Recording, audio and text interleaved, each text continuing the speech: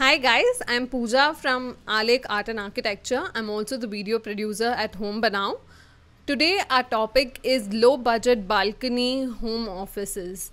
So lately we've got a lot of queries ever since the pandemic and the lockdown has started. We've got a lot of queries where people have wanted to comfortably work from their homes and they wanted to have a setup which is equally good to work from home without being disturbed although we had previously done a video on our home banao channel where we had given you a small home office setup with a limited budget for arranging your desk in your rooms or in your uh, living rooms. But today we are going to take you through creating ambiances of offices for your spaces such that you can use them like your home offices or study rooms for your kids as well because online classes have become a mandate now so your kids also can use these spaces without being disturbed. So let's get started. Uh, the first thing I have is a list of a few essentials that you will need to make this happen. So if since your balcony is a area, it may be semi-open, it may be open, it may be enclosed also for those of you who have an enclosed balcony you do not have to worry about waterproofing but for those of you who do not have an enclosed board en- enclosed balcony you will have to waterproof it. And even the ones who have an enclosed one will have to take care of the flooring waterproofing. The next one will be uh, the flooring choice whether it's wooden uh, etc and the next is your soundproofing. You definitely have to take care of your soundproofing so that there's no echo there's no disturbance and you can peacefully work. The next is your ventilation. Of course if it's an enclosed cuboid you will not be able to work there. You'll start feeling claustrophobic so you need to take care of your ventilation. Then you have your lighting. Uh, in ventilation we have a natural lighting that has to be taken care of and again we have artificial lighting also that needs to be taken care of then we have our storage or ledge which is very important because you will have a lot of accessories and uh, things to place while you work. Then we have our desk and our chair the most important of all which has to be taken care of with good ergonomics. Then we have our computers and other accessories uh, be it keypads mouse books pen stand.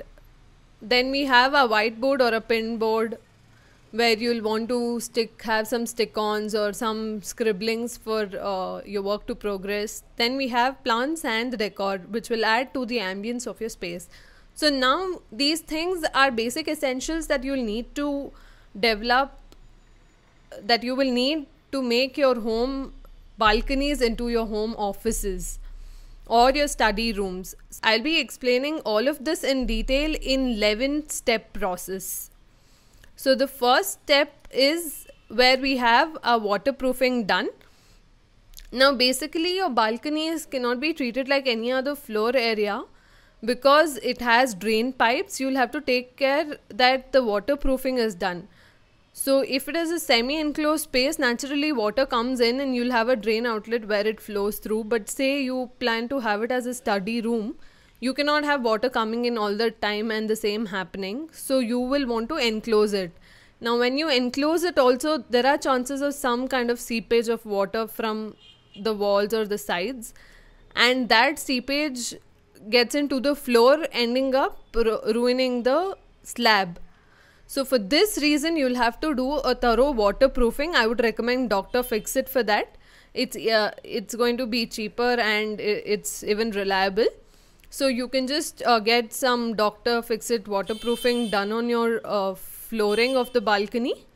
But in case you already have a full-fledged balcony where tiling etc has been done then this stage would be taken care of so you you need not have to worry about it so our next stage is where we will be doing our flooring after your waterproofing comes your flooring so now you want to decide what kind of ambience you want for your study room uh, some of us may prefer to have wooden flooring to you know give it a more office kind of a feeling. Some of us might want to have some nice grass mat cushioning.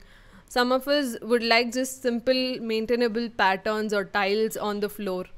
So you can go for any of the options. The best i would recommend will be wooden flooring because the ambience wise also it's good and soundproofing wise also it'll be a better uh, option to choose for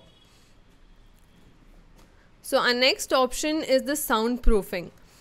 So for your soundproofing now waterproofing we have done on the floor while waterproofing will also be waterproofing and soundproofing both are connected. You will want to use uh, you will want to use windows upvc windows or glass facades to cover to allow for light coming in but you do not want any water coming in so for this reason if you're going for UPVC windows, this will take care of your ventilation as well. And UPVC windows are a good soundproofing material. So that will help you in uh, waterproofing and soundproofing as well. But for those of you who do not want something like UPVC windows where you do not want these channels to be seen, you can go for complete glass facades, which are uh, manageable by automatic channels, wherein you can use a remote control to lift these facades up or to move these or to slide the glass doors. So here in this case your soundproofing will not be that great because glass will allow for some amount of sound when there is high breeze on higher floors. If you're on a lower floor this option can work but if you're on higher floors this option is definitely not a good choice. I would recommend uh, for economical reasons go for UPVC uh, window cladding wherein you'll also have waterproofing, you'll have soundproofing and you'll also have ventilation. So our next thing is the ventilation. Now you can have windows accompanied with louvers. You can have a combination of permanent louvers and windows, opening windows. Or you can go for windows alone with some um, curtains or blinds. So here ventila- for ventilation by ventilation here i mean is having natural air coming into your space and also natural light that comes into your space. Of course you do not want your study rooms to be very dark so the next thing the next step is our artificial lighting. Now why artificial lighting? Because we've already taken care of ventilation where we are getting enough sunlight but say you want to work in the night there won't be any sunlight. So that's why you will need good natural lighting as good artificial lighting as well where you can either have a lamp focused light with table lamps or you can have ambient lighting with spotlights. You can also have lighting below your ledge or storage unit such that it falls on your writing pad or on your uh, system where you work. You can also have uh, bigger lights central lights in the space to give a more uh, equal light into all the areas of that space. So with respect to lighting my recommendation would be use a lamp stand for your table lamp stand and go with ambient lighting or a spotlight. You can also go with the uh, lighting profile lighting below the ledge but this will not be of that high significance for a day to day use. It's more aesthetical than functional. So our next step would be the storage or the ledge so you do not want to be running around the house for every single thing that you may need while working so that's why your storage or your ledge is going to be very important to have all your things organized and sorted in one place so that you can work peacefully. So in a storage, you can have open storage if you like, where you can have a combination of books and decor. You, or you can have a closed storage with a small ledge where you have all your books and uh, other essentials in, inside the rack and some decor and a few reading books outside which you can take quickly pick up and read or you can have a combination of both open and closed storage in the form of an artwork where you have uh, cubes and cuboids, staggered cubes and cuboids with voids and uh, spaces. So, this will give you a beautiful design and also serve the purpose of storage and decor. So, our next thing is the desk and the chair. The most important things that you will need is the desk and the chair. Now, this has to be ergonomically correct. So your hands need to be comfortable, your legs need to be comfortable while working, while studying, while writing to avoid any health issues. So please go through our uh, other video where we have explained the ergonomics very well. And uh, for your desk and your chair, you can opt for a free ledge, ledge come drawer where you can use the top for uh, placing your systems and the storage, the drawers can be used for storage. Or you can also go for a freestanding desk. And the chairs you can go for regular chairs if you do not want to go and invest into something more but just take care that the ergonomics is taken care of or if not you can go for high end revolving chairs or comfortable cush- uh, cushion chairs for your study and your office work. Also i want to tell you about a few unique designs of desks that you can opt for. Uh, one is where it doubles up. It's a space saving desk where you can fold it when not in use and open it while in use. You have some basic storage in it and it's good to go where where you have space constraints this is the best option.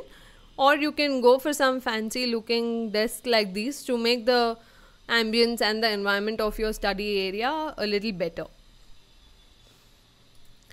So our next step is the computer and the other accessories. So computer you can choose whether if you have laptops you can work with, with laptops but then make sure that you have some stands along with the laptop to avoid any back pain or to avoid any wrist pain or if you have desktops then you'll have to take care that you have adjusted the heights really well and uh, make sure that you have other accessories in place so you do not have to keep running over for a mouse, for a keyboard, or for a pen stand, or any of the other items that you need while working. So take care that you have your computer and other accessories intact, in place, and in proper working conditions.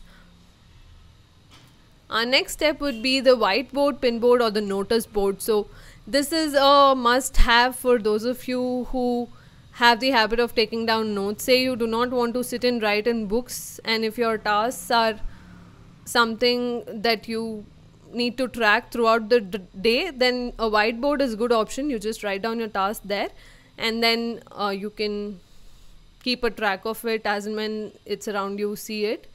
For those of you who do not think that you need a marker, a board, and all to write down things, where you just want a pinboard to just hang. Uh, immediate snippets or immediate brochures on the board to keep a track of things, to keep a track of any information that you need for your work.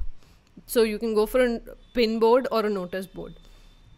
So our next essential step would be the plants and greenery. So I recommend this as a must have because we have ambiances that do not interact with the outdoors anymore.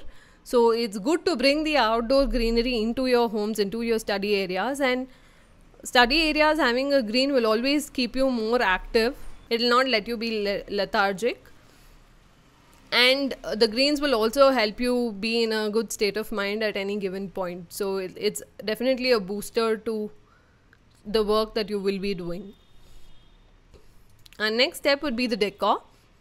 Uh, it's not a compulsion, but you may find things here and there in your house that you can definitely use as decor, like a small frame as a backdrop or in the sides, or some uh, animal model around, or a plant or a vase or something of that sort. So, anything as a decor is good to go. So, these were our 11 essential steps to make your balcony into a study room or a home office. In case you have any doubts, please do write to us in the comment section and we will definitely clear and help you set up your home office. If you have liked the video, if you have liked the information that we have shared, please like the video and subscribe to our channel for more informative videos. Thank you so much.